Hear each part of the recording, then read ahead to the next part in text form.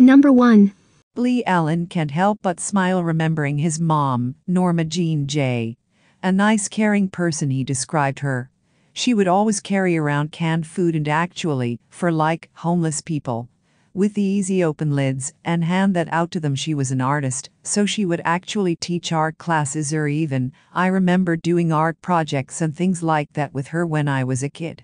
Little bit of a hippie at heart. Allen also remembers the morning she was suddenly taken away. Jay, who was 59 at the time, was living in a small home in the remote community of Three Points, southwest of Tucson. She liked having some land and just kind of being to herself a little bit, Allen explained. Jay's home became a crime scene for the Pima County Sheriff's Department on July 17, 2006. I was at work that morning, Allen recalled. I was working actually for a radio station at the time and I came back to my house and there was cops there waiting. And just started questioning me, all these questions about my mom and this and that and everything going on.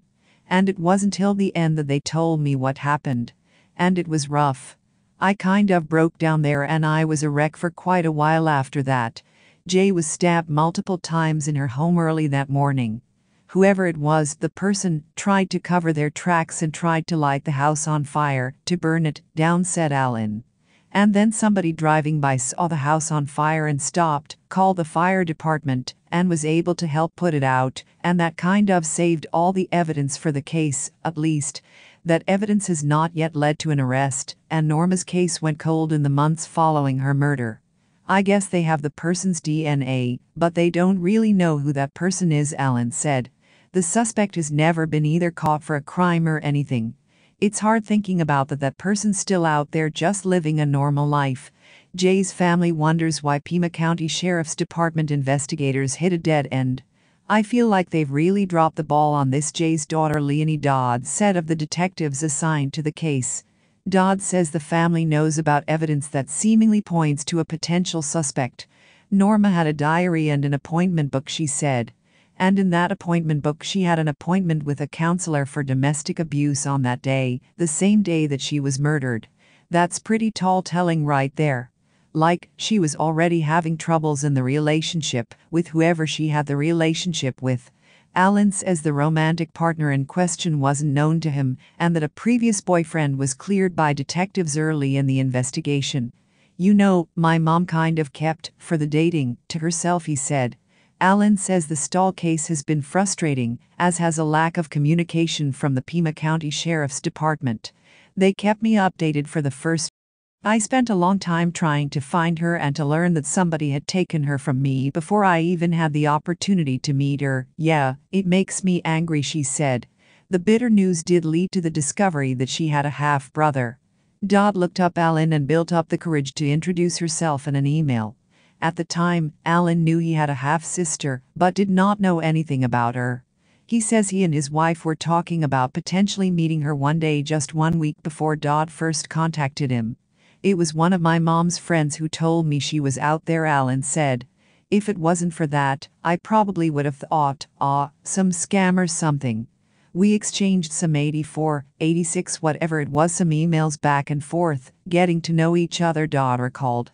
I said, I have a week's vacation in October. Nothing has panned out.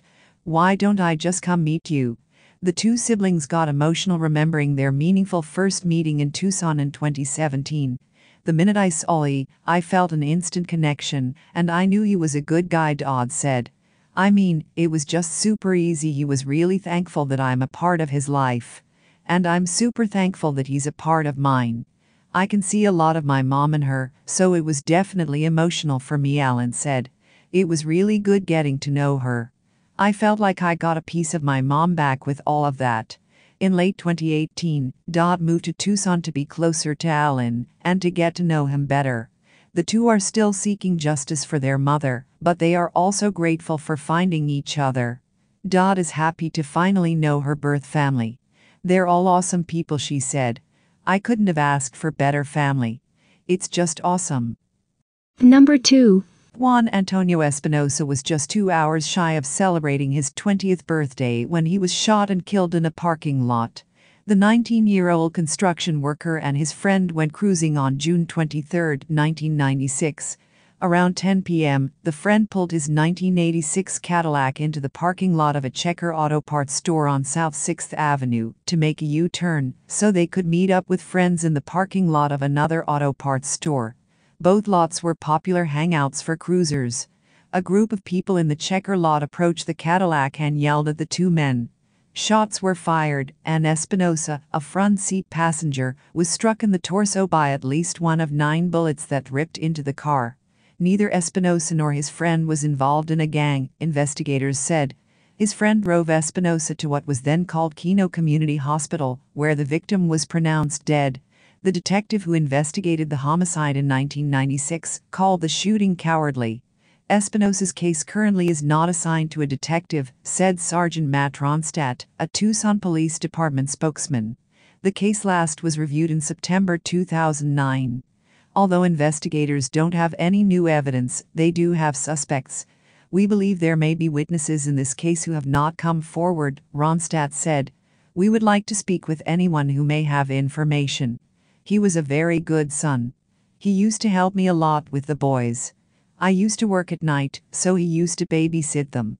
He loved his brothers, Elisa Espinosa Lopez said of her son. The younger brothers were seven and eight years old when Juan Espinosa was gunned down. Juan's little brothers, now young men, still visit him at the cemetery.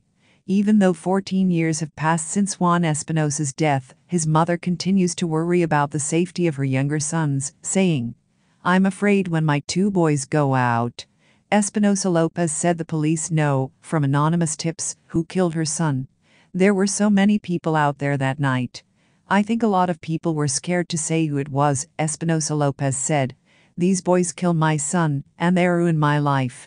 The star features some of the Tucson area's violent crimes that remain unsolved sometimes many years later. Anyone with information is urged to call 88 Crime.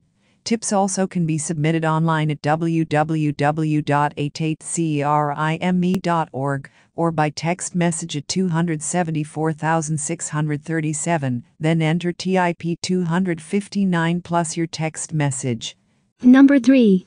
Tracy Beth Feltes disappeared in September 2007. Her parents don't know exactly when she went missing. They spoke with their 33 year old daughter by telephone September 19, but couldn't reach her when they called again two days later. They reported her missing September 26. She last had been seen walking away from her Northwest Side home in the 8000 block of North Hobby Horse Court, near North Oldfather and West Magee Roads, after an argument with her boyfriend. Initially, the missing persons case was investigated by the Pima County Sheriff's Department. Investigators met with the boyfriend, who stated that Tracy had gotten mad and left the residence on foot, and he had not seen her for some time. Her vehicle had been at the residence, and he had been using the vehicle during her absence, said Marana Police Detective Deborah Kesterson, who is assigned to the case. However, when police finally tracked down Feltes' car, they found it in the parking lot of the Oldfather Inn, a bar near the home she shared with her boyfriend. Three weeks after Feltes was reported missing, her body was discovered in the desert near the 5000 block of Tangerine, near North Camino de. Her death was listed as a homicide, but the manner of death is undetermined, Kesterson said. Feltes' boyfriend remains a person of interest in her homicide, Kesterson said, but after interviewing and re interviewing myriad witnesses, the case has stalled. The most important thing we need is for someone to come forward, the detective said. I know someone has information. I really need someone to step up and give us something more to move forward with. Tracy Beth was the baby of the family, the youngest of Beverly and Leonard Feltes' three children. She adored her older sister, and the two remained best friends through their school years and into adulthood. After Tracy, who worked in various dental practices, was killed, her sister moved out of state to avoid the constant reminders of her sister's sad fate. We were a very close family, said Beverly Feltes.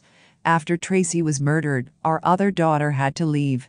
It was very difficult for her to look at the mountains where they found Tracy. Beverly Feltes maintains a bond with Tracy, I talk to her every morning. Wherever she's at, I tell her I love her and miss her. We miss her a lot, her mother said. She'd light up a room when she walked in, always a smile on her face. She was well loved by everybody that knew her. At her memorial, we never expected the crowd that came in and the letters and messages. That was beautiful. Her death, unfortunately, was not. My daughter laid in the desert for three weeks, so there wasn't much left of her. The star will feature some of the Tucson area violent crimes that remain unsolved sometimes many years later. Anyone with information is urged to call 88 Crime. Tips also can be submitted online at www.88crime.org or by text message at 274,637, then enter TIP 259 plus your text message.